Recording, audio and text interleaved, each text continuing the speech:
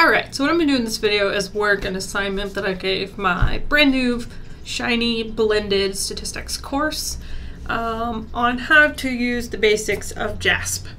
Um, so there's this very simple overview on um, opening and closing and doing a couple little things in JASP.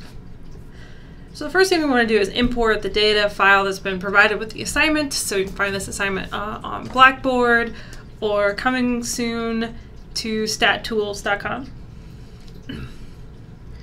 right. So I'm going to go to File here. And then what I do is go to Computer and Browse to find the folder that I hit that in.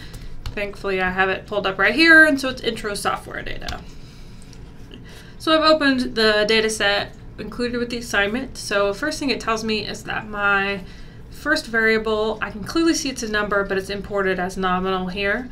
These two clearly imported as text because it has the little A right here. Um, I know it's real tiny, it's hard to see, but it's about right there. Okay. Uh, and I clearly also have a missing data point right here, so the little dot means that it was missing. So I'm going to change variable 1 into numeric column. It's easy enough, I click right here. And I'm going to change that to this little ruler for numeric. You could also use this sort of ordinal interval one, but we're going to go with numeric here, or ratio, um, to be more technical. And that doesn't look like it's done much, um, but it does um, change what's going to happen here in a minute. I'm going to try changing these other two columns, or one of them, to numeric. So here's stuff two. Click here, try to change it to numeric. And it basically tells me no. So it will not allow me to change text to a numeric column because it's text, so it doesn't uh, won't like assign numbers to these things for you. So it won't. It just doesn't do anything. Is the answer. And so what happens? Nothing.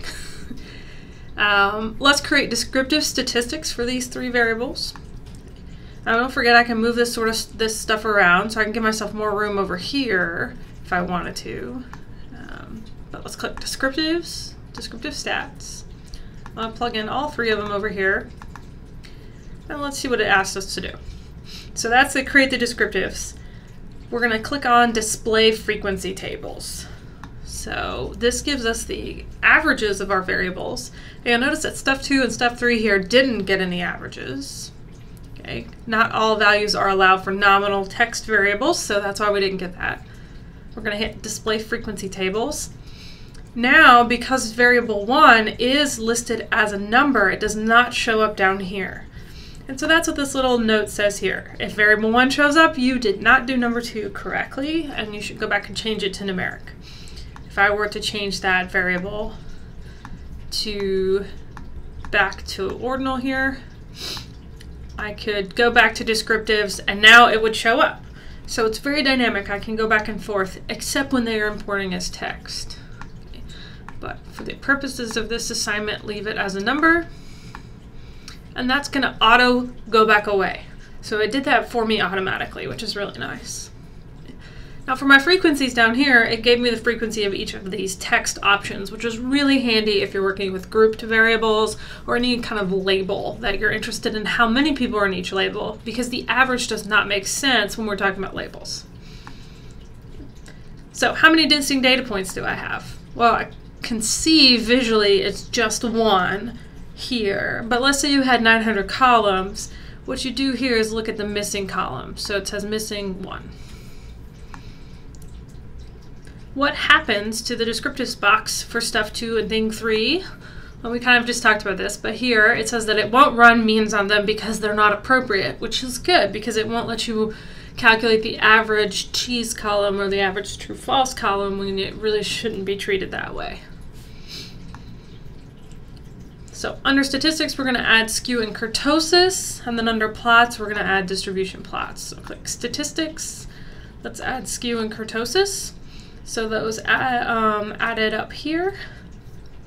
And we'll talk uh, in an assignment soon on what those are. Under plots, we're going to add distribution plots. So a histogram here, because this is uh, continuous-ish data, for the first variable. So it looks like we have the most fours. And then still sort of histograms, but really more like frequency, like a, just a, a count kind of chart because histograms traditionally across the bottom are continuous, but here we've got just counts of each category. So this is in alphabetical order, but it doesn't need to be for any particular reason. Now, we're going to export our results to an HTML file. So I'm going to go File, Export Results. Now I can say my computer and just stick it on my desktop here somewhere. So if I were to open that file, it's going to open for me in Firefox. Um, but it exports in this nice pretty version, so it gives us that you created all of this stuff. Um, which allows us to see that you've done the assignment correctly. All right. Um, and it's created it several times because I've gone through and cl clicked, I think, OK a couple of times. Um, you can remove analyses that are incorrect. So let's say, like, oops, I just want the last one because that's the one she really wants from us. Um, I can click the down arrow here and click remove.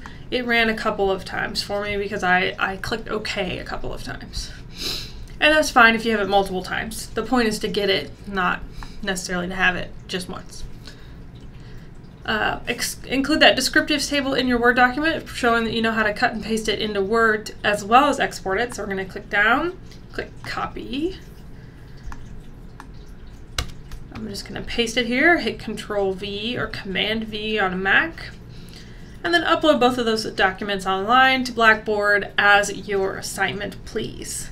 Um, so turn in both this Word document that includes the fact that you answered these questions, so typing your answers here, and include that HTML file so we can give you credit for completing this assignment.